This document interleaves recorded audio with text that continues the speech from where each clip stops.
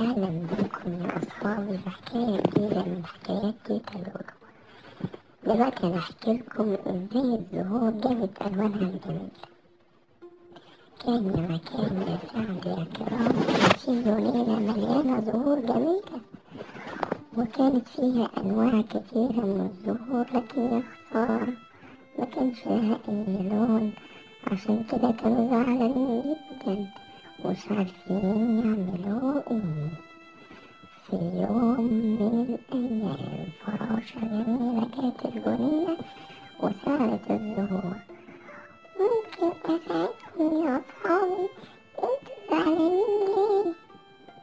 قالوا لها إحنا ما عندناش ألوان ممكن تساعدينا يا فراشة يا جميلة لكن هتساعدينا إزاي؟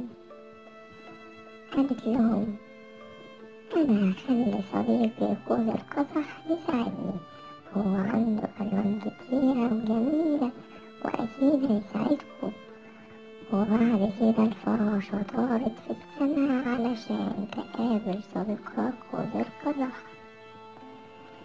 وقالت له يا صديقي قوس القزح ممكن تساعدني أنا عايزة مساعدتك.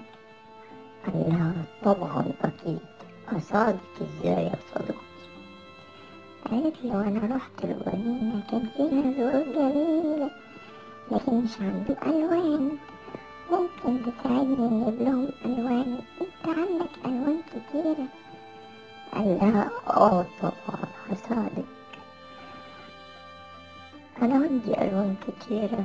وأصدقائكم وأصدقائي القزح